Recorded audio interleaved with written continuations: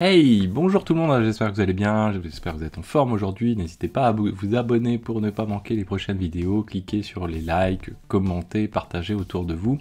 Quatrième vidéo dédiée à Wazoo, toujours avec un petit exemple euh, à réaliser qui est issu également de la documentation de Wazoo. On va faire un petit peu plus, mais euh, vous retrouvez le lien dans la description de la vidéo avec l'ensemble des éléments qu'on va faire aujourd'hui. Euh, d'autres ont déjà fait des vidéos autour aussi de ces, exemples qui sont fournis par Wazoo. Euh, donc au jour d'aujourd'hui, là, on a tout simplement trois machines. On a le Wazoo euh, Indexer Manager Server et puis on a WazAgent 1, WazAgent 2. Donc on va se faire un petit test avec euh, DVWA qui est un site qui est assez connu où on s'installe ce site et ça permet de faire des tests d'intrusion. Et puis on va enchaîner avec deux autres outils, Teller et Euh, qui va nous permettre de faire un test d'intrusion. Vous allez voir que ça va être assez sympathique. Donc jingle et c'est parti.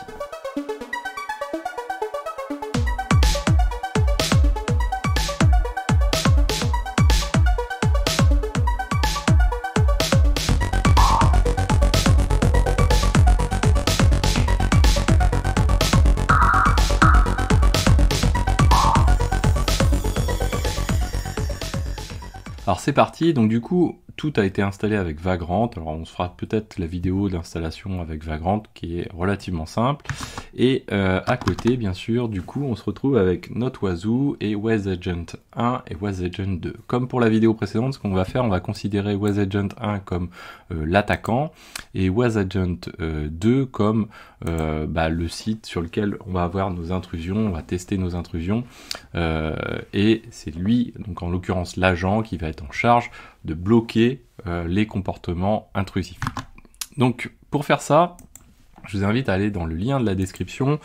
Vous allez dans, euh, donc sur ce repo et vous allez dans la vidéo numéro 4, bien sûr. Derrière, ce qu'on va faire, c'est qu'on va utiliser euh, plusieurs outils dans cette vidéo, assez sympathiques ces outils.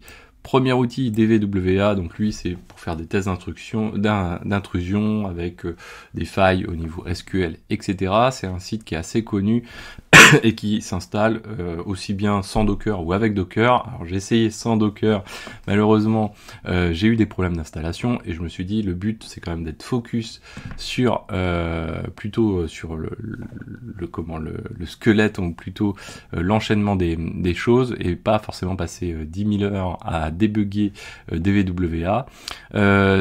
À côté, on va utiliser un autre outil qui est assez sympathique, qui s'appelle euh, Teller. Et Teller, lui, c'est quoi? C'est un IDS en Go. Euh, donc, je vous ai mis les liens hein, de toute façon vers tout ça.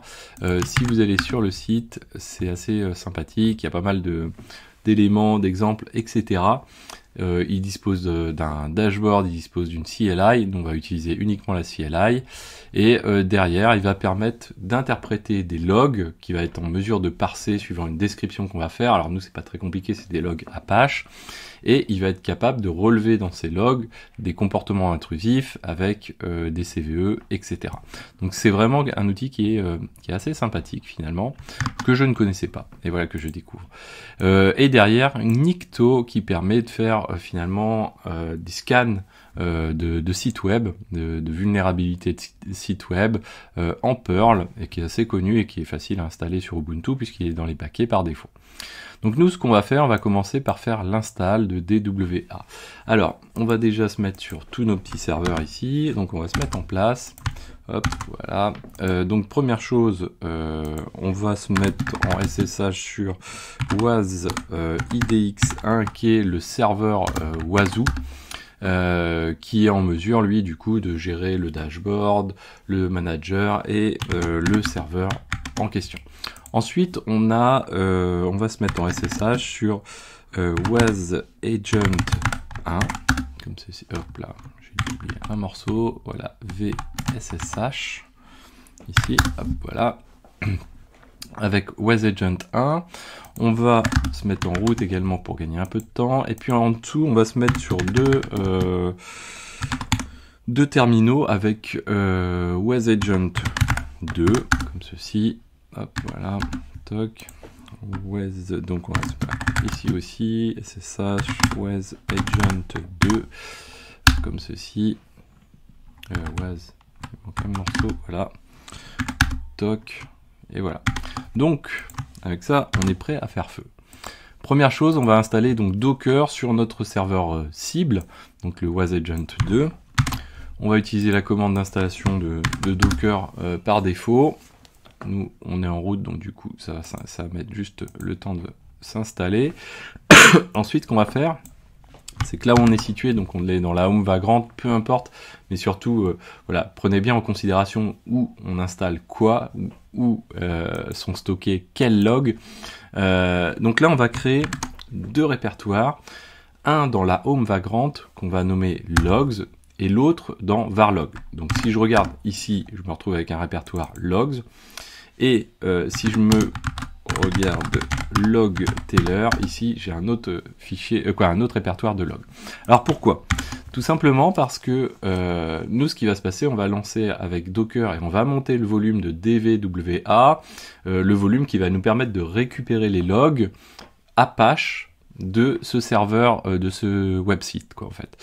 Et derrière, ces logs Apache, bah, ce qu'on va faire, c'est qu'on va les copier, quoi. en tout cas, on va, on va faire le montage qui nous permet d'avoir les logs dans ce répertoire qui est dans la home vagrant logs.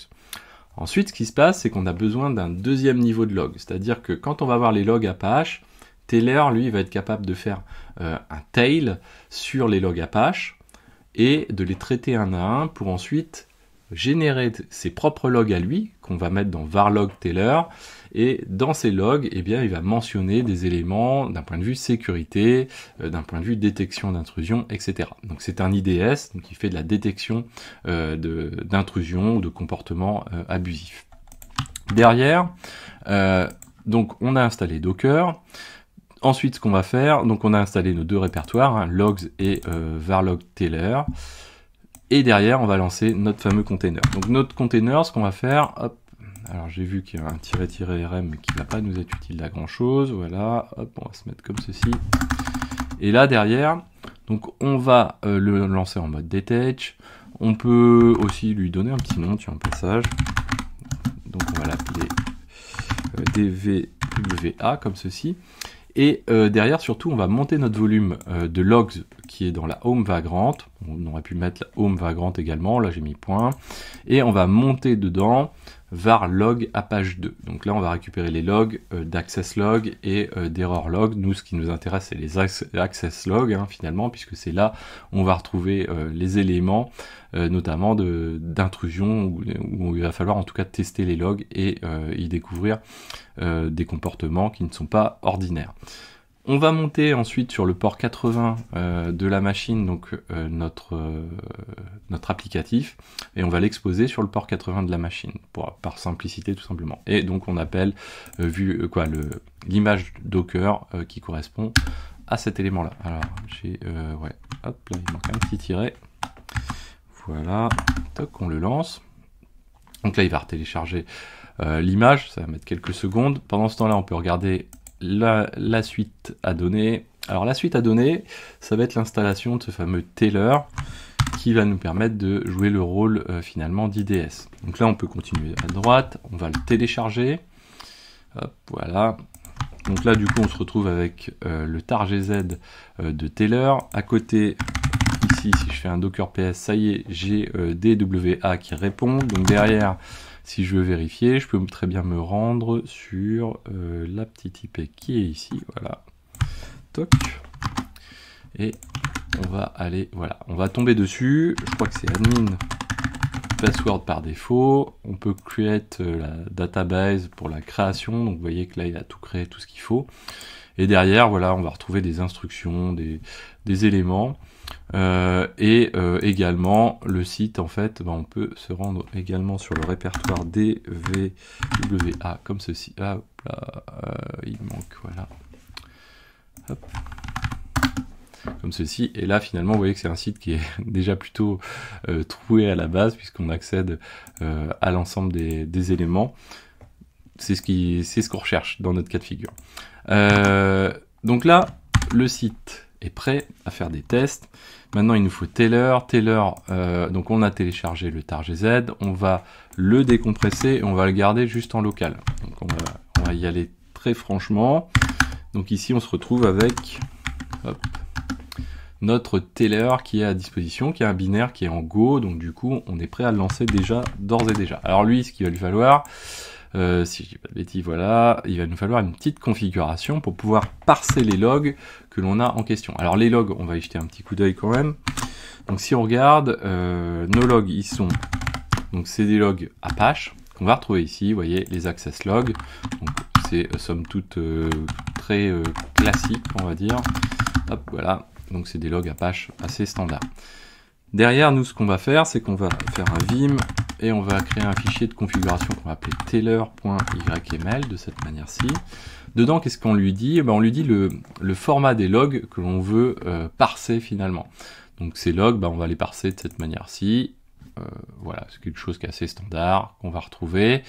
Euh, et derrière, on va lui dire, bah écoute, ces logs que tu parses, bah toi tu vas les, tu vas nous mettre ton résultat d'analyse dans var log tailor output log. Ça c'est important parce que derrière c'est là où euh, bah, le Wazoo agent, on va lui dire après, bah, va regarder dans ce fichier euh, d'output log et toi tu vas le prendre en compte pour le charger dans ton indexeur et faire ton analyse derrière de sécurité. Donc là on a la configuration qui est réalisée. Une fois qu'on a fait ça, hop, alors on pourrait même euh, d'ores et déjà... Ouais, on va le lancer après. Euh, ensuite, ce qu'on va faire, c'est qu'on va éditer euh, la configuration du Wazoo Agent sur deux éléments. Premier élément, bah justement, il faut lui dire de prendre en compte localement ce fichier qui est dans var log tailor output log. Donc, on va aller faire modifier la configuration. Donc, on va dans var OSEC euh, ETC et euh, OSEC de nouveau, voilà, comme ceci. Et on va se rendre euh, à un endroit, toc euh, on peut regarder file, toc, mm bah voilà, local file, on va se mettre à côté des autres local files qui font eux aussi de l'analyse d'autres éléments vous voyez que eux, ils vérifient des analyses à partir des commandes, donc on peut aussi regarder des commandes. Nous, on est sur euh, plutôt sur euh, la localisation de log et un format de log type, là en l'occurrence 6log, et il va être en mesure de le, prendre en compte et de le charger. Euh, deuxième élément qu'il faut charger, qu'il faut modifier, toujours sur notre agent, c'est la prise en compte d'une active response. Ça, on l'a vu lors de la vidéo précédente. Nous, on va utiliser la même, qui est firewall drop. On va lui dire, bah, c'est local, hein, donc euh, il va travailler lui localement sur son agent, et il va utiliser les règles qu'on va définir juste après. Euh, en l'occurrence, trois règles, et quand ces règles vont être activées, c'est là où il va activer lui le firewall drop pour une durée donnée. Nous, on va lui dire, bah écoute, pendant 6 minutes, tu vas bloquer euh, l'IP en question. Euh, donc on va prendre ça, active response, voilà, toc, comme ceci, active response, et on va aller l'éditer, toujours pareil. Euh, on a peut-être des active response, voilà, ici, donc ce qu'on va faire, on va venir lui rajouter juste ici, euh, hop, voilà, comme ceci. Donc là, on va être en mesure de, faire notre modification, on va faire un systemctl restart, restart, euh, Euh, quoique, on va faire la modif quand même pour être sûr. J'ai pas fait le test dans cet ordre-là, je suis pas certain. On va faire d'abord la modif euh, sur le, voilà, les règles, la mise en place des règles de, euh, donc de prise en compte et de parsing des logs de Taylor, là pour le coup. et là, nos fameuses trois règles, donc on a la 100 012, 100 013, 100 014. Donc on va aller regarder un petit peu plus dans le détail après. Euh, mais on va aller les recopier. Pour les recopier, les règles, là, du coup, ça se passe côté euh, serveur cette fois-ci, hein, donc euh, Manager même. Donc on va venir éditer dans var, var OSS rule 7, si je dis pas de bêtises, voilà. Rules. Ah non, c'est peut-être pas là. Hop, euh... Ah, ETC rules, pardon. ETC, on était tout à l'heure, rules, voilà, et local rules. Toc, ici, et on va le retrouver, et on va lui euh, ajouter ici. Comme ceci, on va enregistrer. Euh, on va faire un système CTL restart de Wazoo Manager ici. Donc ça va mettre quelques secondes à, redémarrer. Donc ça c'est bon. Parmi ces règles, donc du coup, on se retrouve avec une structure en XML. On décrit une règle, on donne un niveau de, de de, vulnérabilité par rapport à cette règle-là, quoi, ou en tout cas d'importance de la règle plutôt. Euh, la manière dont on va le décoder, donc nous on va dire que c'est du JSON, et ensuite comment on va parser euh, différents champs. Donc là par exemple on a le champ qui s'appelle catégorie, bah, pour le retrouver on va dire bah, tu utilises du PCRE, donc c'est du Perl, euh, de la regex Perl, et on va dire bah voilà tu prends la ligne qui contient ceci, et le catégorie bah, ça va correspondre à ce que tu vas retrouver ici. Donc on fait de la capture tout simplement d'éléments.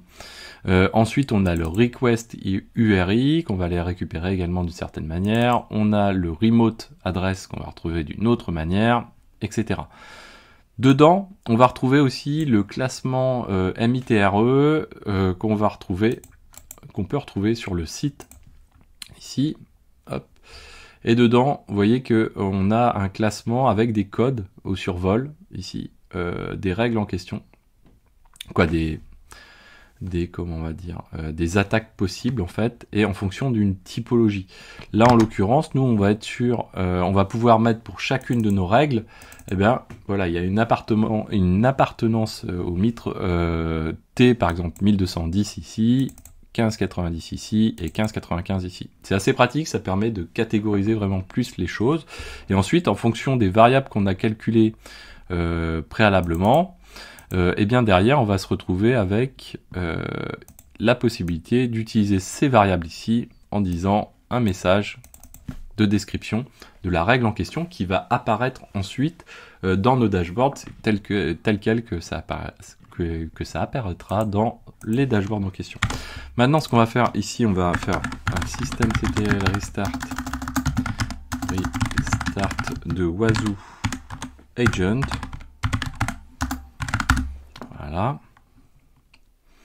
et là, une fois qu'on a fait ça, euh, on va faire une chose supplémentaire. Donc là, on va s'occuper de notre agent 1. On a besoin de Nikto. Donc on va faire un apt install, euh, install Nikto comme ceci. Voilà, toc. Il va nous installer l'outil euh, de test et de scan. et là, je pense qu'on a fait le tour de tout. Euh, ce qu'on va faire, c'est que pour gagner un peu de temps, hop, on va se remettre sur le navigateur.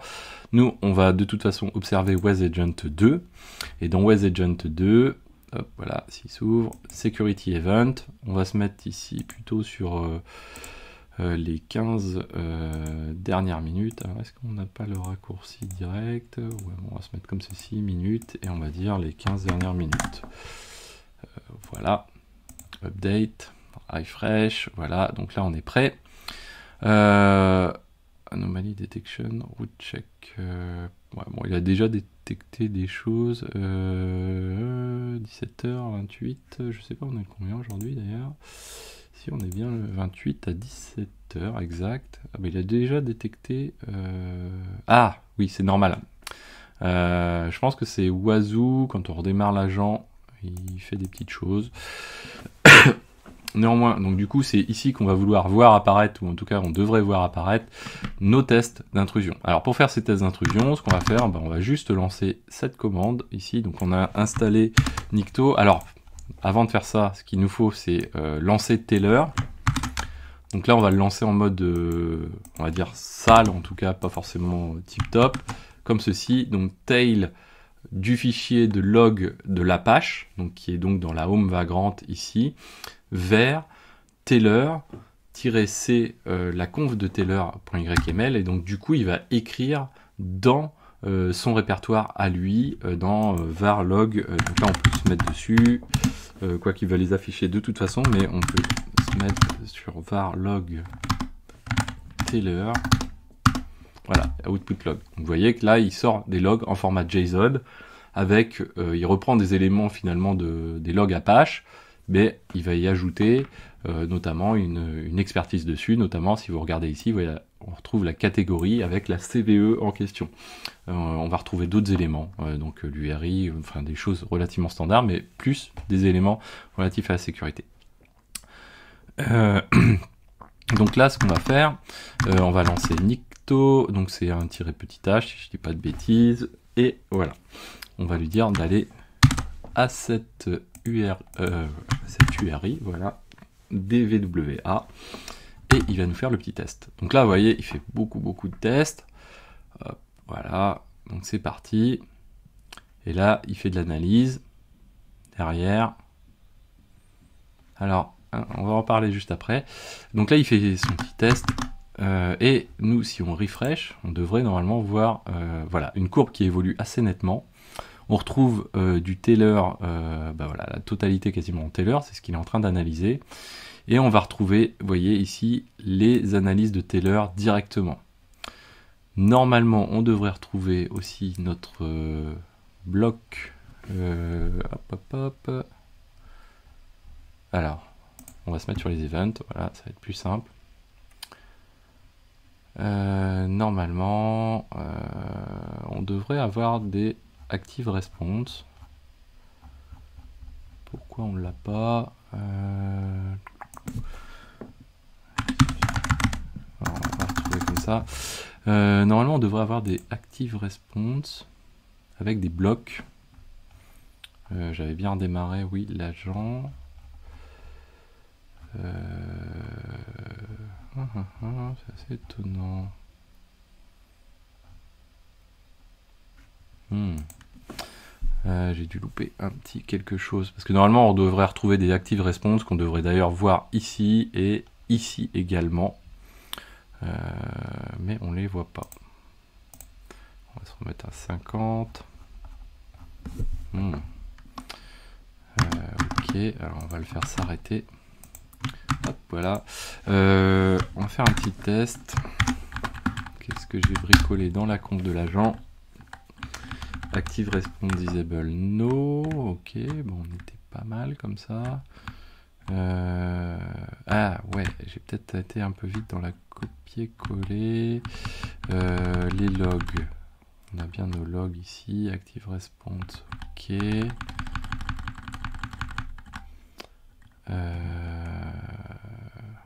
Alors, comme un doute. Donc ce qu'on va faire, on va faire ça. On va le coller ici, lui. Et on va faire pareil. 1, 2, 3, 4, 5, 6, 7, 8. Ok.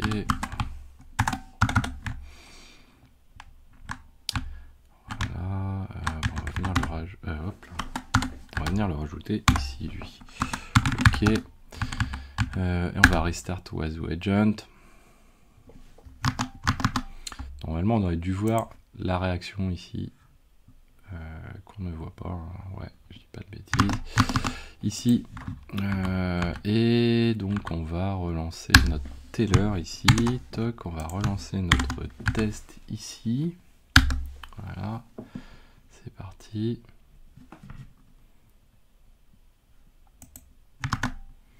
les règles du coup, alors les règles sont bien chargées, hein, on les voit ici, rules, donc on est sur la 100 013 par exemple ici. Par contre, on ne voit pas l'active response qui euh, bah, s'active finalement. C'est ça qui m'embête un petit peu. Euh... on la retrouve pas. Mhm. On check, on s'en fiche. on voit bien les logs Taylor mais il n'applique pas l'active response qui correspond. Euh, ok. Euh, alors on peut faire d'autres tests, c'est pas grave. Alors lui on va l'arrêter déjà. Voilà. Euh, qu'est-ce qu'on avait? Alors on va faire un petit debug. Donc on a notre active response ici, ok. Ici, on a notre Taylor output log, ok.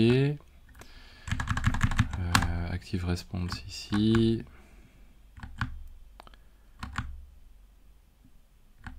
Euh, ah, yes, je pense savoir. on n'a pas la commande de drop. Firewall drop.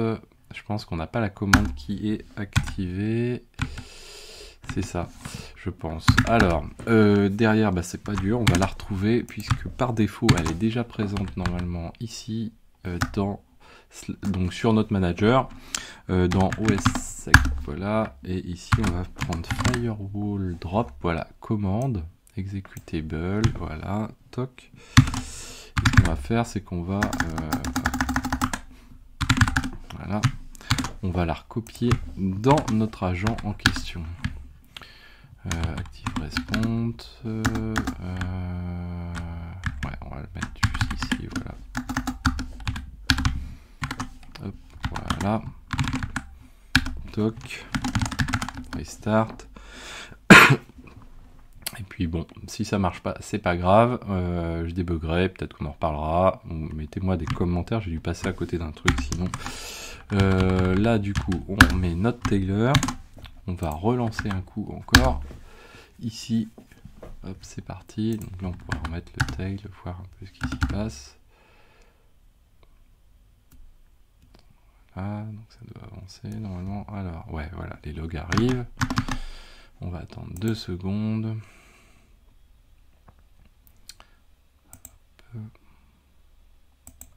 Alors, pourquoi on les voit pas? C'est assez étonnant. Normalement, on devrait le, même le visualiser dans celui-ci, hein, logiquement. Et sinon, dans le pire des cas, normalement, on a les events bruts. Donc du coup, on devrait les retrouver dans les events bruts qu'on ne retrouve pas du tout. Euh, je ne sais pas. Du coup, là, j'ai un doute. Alors, ce qu'on peut essayer de faire, c'est de copier en local la règle, euh, les règles également. Hmm.